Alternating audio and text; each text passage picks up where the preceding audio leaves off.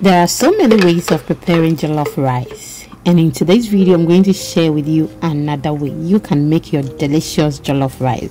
It reminds me of childhood. We were really enjoying. I remember my mother was calling it jollof plus beans and it is so good.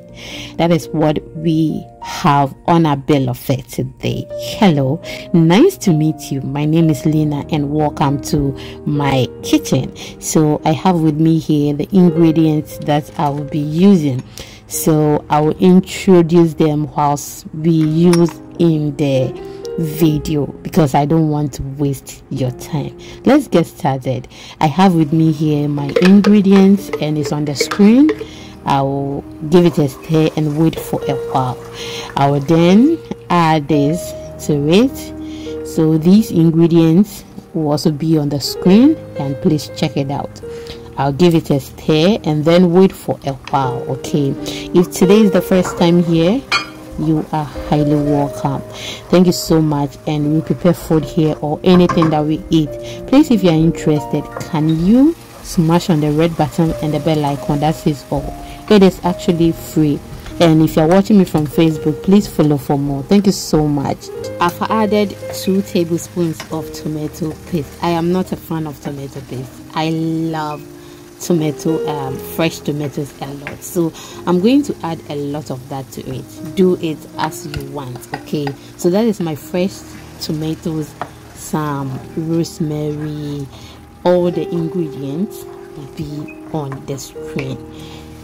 So i'll give it a stir and then wait until um, it's well cooked then we proceed now i cannot prepare jollof rice without sardines. So i've added two okay? And those are the types that i used okay? Or the brands that i used. So i'll give it a stir and wait for a while. My returning subscribers and followers thank you so much for always watching my videos. I do appreciate it. Please after watching this video do not hesitate to like comment share and also follow for more I will be very, very grateful. Especially, I love to read your comments. So, leave it there for me so that I will enjoy them. Thank you so much. Now, my beans is ready. Okay, so I've added it to the stew. I will give it a stir and wait for a while before we proceed. The next thing I am going to add to my jollof rice is my coconut milk. I cannot prepare jollof rice without coconut milk.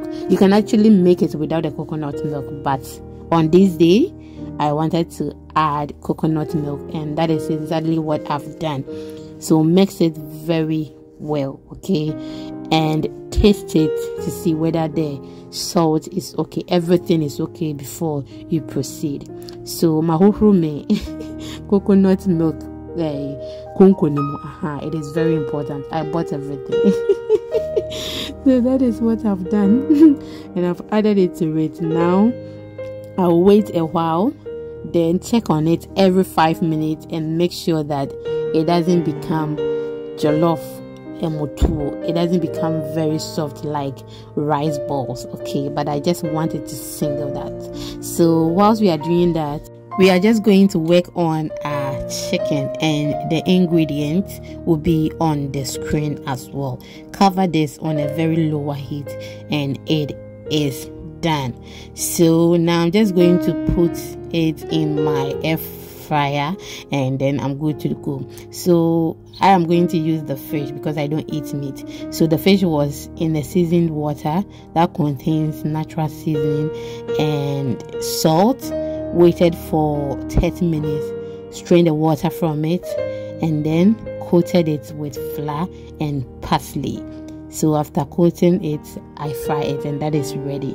Our jollof rice is also ready here. And oh my goodness. it already looks very delicious and perfectly made. So I'm just going to show you how it looks. Everything looks okay. Our jollof rice our chicken and fish is here. Thank you so much for watching and see you in the next one. It was delicious. Try it and you will love it. See you in the next one. Bye